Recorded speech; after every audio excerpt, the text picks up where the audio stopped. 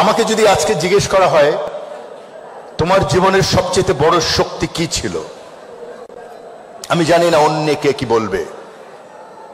আমি নিশ্চিত করে তোমাদের বলতে পারি, আমি যে কোনো জায়গায় বলব, যে কোনো পরিস্থিতিতে বলব, আমার জীবনের সবচেয়ে বড় শক্তি ছিল আমার মায়ের দোয়া।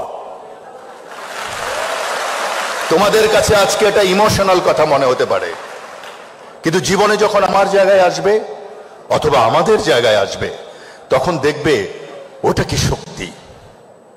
আমি দুটো গল্প বলব আজকে এখানে। একটি আমার মায়ের গল্প, আর একটি অন্য একটি মায়ের গল্প। আমার মার কোনো কিছু হলে আমি বলতাম, পায়ের নিচে শুয়ে বলতাম, আমার গায়ের উপর একটা পা রাখো তো, আর আমাকে একটা ফু দাও। তো আমার জীবন এখনও ফুয়ের মধ্যেই চলছে। আমি যখন ম্যাট্রিক পরীক্ষা দেই আগের রাতে, আমার অনেক জ্বর, অনেক অনেক জ্বর, একশো চার ডিগ্রি হবে। তা আমি সকালবেলা উঠে বললাম, মা, আমি তো আর পরীক্ষা দিতে পারব না। আমার মা আর দশটা মায়ের মতো খুব শিক্ষিত নন। তা আমার মা বললেন, এটা কি হয় নাকি রে বাবা? তুমি যদি এবার পরীক্ষা না দাও, তুমি তো এক বছর ফেল করে যাবে। আমি বললাম, আমার তো কোনো উপায় নেই, আমি তো চোখে কিছু দেখছি না। উনি অনেক দোয়া টোয়া পরে আমাকে একটা ফু দিলেন, দিয়ে হাত ধরে বললেন, চলো যাই। পরীক্ষা তিন ঘণ্টার জায়গায় প্রায় দু ঘণ্টা পরীক্ষা দিয়ে বেরিয়ে গেলাম। বাইরে মানে বিপর্যস্ত মা বসে আছেন, আমার ছেলে কি করছে ভেতরে? বাইরে বেরোলাম, বলল, কি, পরীক্ষা শেষ হয়েছে? সব প্রশ্নের উত্তর দিয়েছ? আমি বললাম, না, মাত্র চৌত্রিশ প্রশ্নের উত্তর দিয়েছি, চৌত্রিশ নাম্বার। তো বলে পাশ কততে? আমি বললাম পাশ তো তেত্রিশে। আমি বললাম, মা, তোমার ফুয়ে আর কোনো কাজ হবে না। বলে আচ্ছা কাজ না হোক, আসো একটা ফু দেই।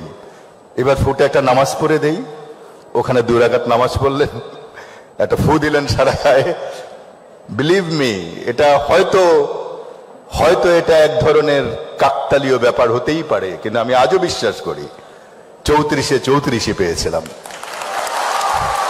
সো আনিসুলকের জীবনে ওই মার দোয়া দিয়ে আমার সারা জীবন, এখনও কোনো কিছু হলে মায়ের কবরের কাছে যাই যে দাঁড়াই। এই, কি বলে, এই মেয়রের পদে আমি দাঁড়াবো না দাঁড়াবো না, ঠিক করছিলাম। যে না, আমার দ্বারা তো খুব কঠিন একটি কাজ, আর আমি মানসিকভাবে তৈরি নই। তো আমার বাবার বয়স পঁচানব্বই। বাবাকে যে বললাম, বাবা, কি করব? মাননীয় প্রধানমন্ত্রী চান যে আমি মেয়র হই। একটি বড় উপহার একজন প্রধানমন্ত্রীর কাছ থেকে, কি করি আমি? বলে, তোমার মায়ের কাছে যাও। তো আমি বলি, মা তো কবরে।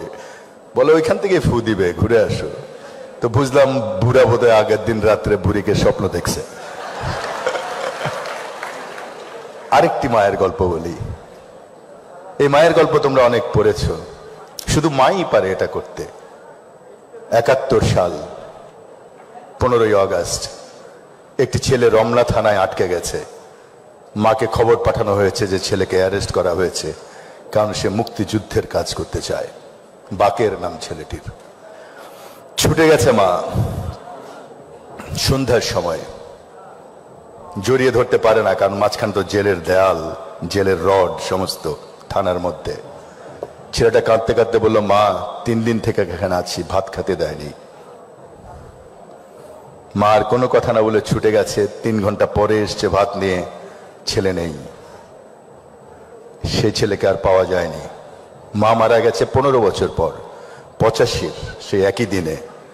এই পনেরো বছর, সেই মা একটি ভাত খায়নি। একটি লোকমাও ভাত খায়নি, কারণ সে তার ছেলে বাকেরকে খাওয়া পা দিতে পারেনি। এই হলো মা। সুতরাং আমি তোমাদের বলি, এই বয়সে এসে, আমার বয়সে কিন্তু আমি বুঝতাম না যে মার বা বাবার দোয়া কত পরিশ্রম। ধন্যবাদ, স্যার। আজকের প্রধান অতিথির কাছ থেকে যে বক্তব্য উঠে এসেছে, তাতে এটা স্পষ্ট যে পিতামাতা এবং পারিবারিক সম্পর্কের ভেতর দিয়েই মানুষ জাতীয় এবং আন্তর্জাতিক হতে পারে। আমরা আমাদের বিশ্ববিদ্যালয়ের ছাত্রছাত্রীদেরকে, পিতামাতার প্রতি ভক্তি, শ্রদ্ধা সহ আপনি যেটা বলেছেন, ক্যারিয়ার আন্ডারস্ট্যান্ডিংটাকে অনেক বড় করার চেষ্টা করছি। এবং এখানে যারা উপস্থিত আছে, তারা প্রায় সবাই আর্ট অফ লিভিং এর কিছুটা ক্লাস পেয়েছে, যেখান থেকে তারা বুঝতে শিখেছে যে ক্যারিয়ার মানে শুধু একটি চাকরি নয়। ক্যারিয়ার মানে হচ্ছে, আমার অনুপস্থিতিতে মানুষ আমাকে মিস করে কিনা। ক্যারিয়ার মানে হচ্ছে আমার মৃত্যুর পর জানা যায় কতজন লোক হবে। ক্যারিয়ার মানে হচ্ছে আমার মৃত্যুর পর পৃথিবীর মানুষ মনে রাখবে কি রাখবে না। তাই তো? আমরা সেটা বিশ্বাস করি তো? কাজে আপনি দোয়া করবেন এবং আমাদের সন্তান সমূহ যে ছাত্রছাত্রীরা আছে, তারা আপনার মাতা পিতার প্রতি শ্রদ্ধা জানিয়ে, পৃথিবীর সমস্ত মাতা পিতার প্রতি শ্রদ্ধা জানিয়ে দাঁড়িয়ে সম্মান জানাবে। আজকে আপনার এই বক্তৃতার এই প্রাককালে আমরা চাই পৃথিবীর সম সমস্ত মাতা পিতা আজকের এখান থেকে সম্মানিত বোধ করে সমস্ত পৃথিবীকে সর্বাঙ্গ সুন্দর করে গড়ে তুলবে। ধন্যবাদ আপনাদেরকে। আপনাকে